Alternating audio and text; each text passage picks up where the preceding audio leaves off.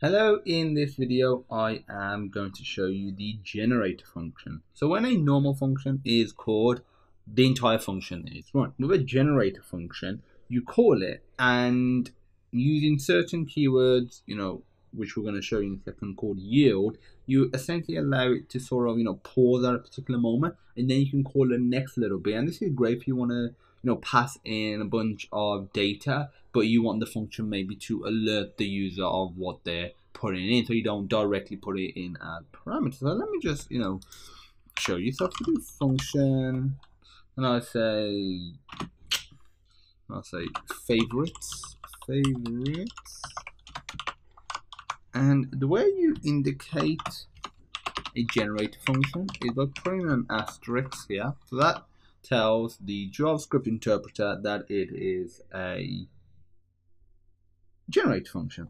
So in here, we're going to create a variable and we're going to call it pizza. Say equals to yield and now you put a quotation mark. And now what we are going to say, we are going to say is what is your favorite favorite pizza. Then we're going to say var, and we'll say do, do, do, game equals yield.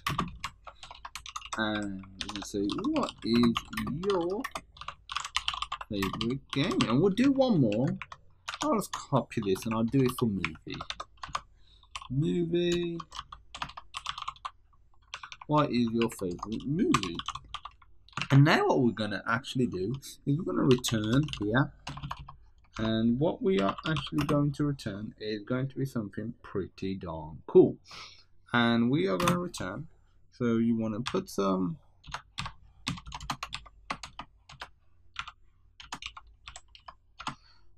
some trying to find where it is on my keyboard the particular type of I seem to have lost it.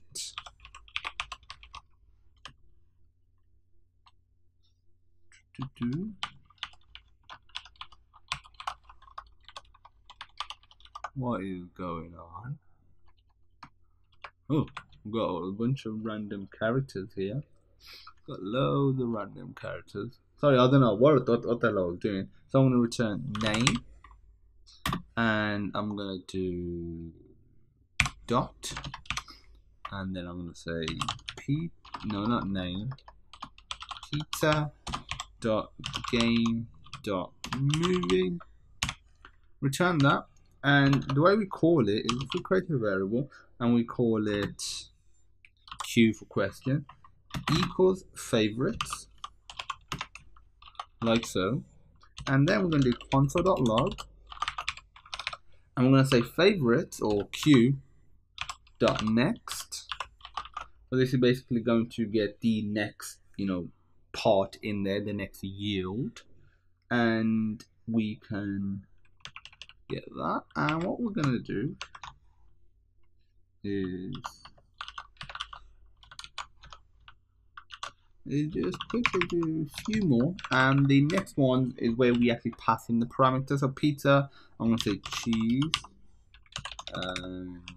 For game, I'll say Half-Life.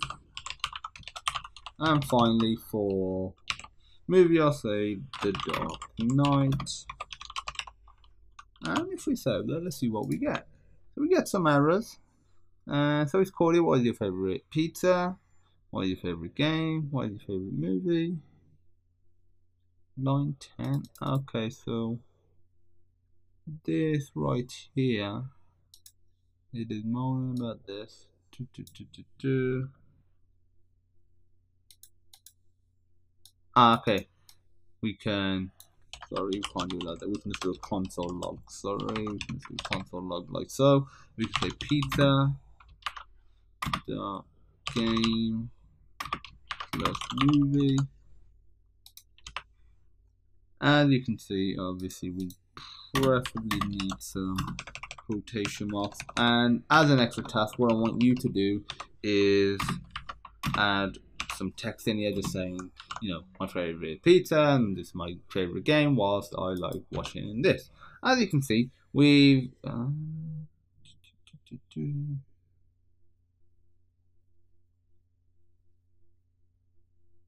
okay, yeah, everything looks okay. Yeah, everything's okay.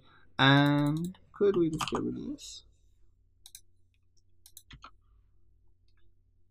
We need that final line. So, okay.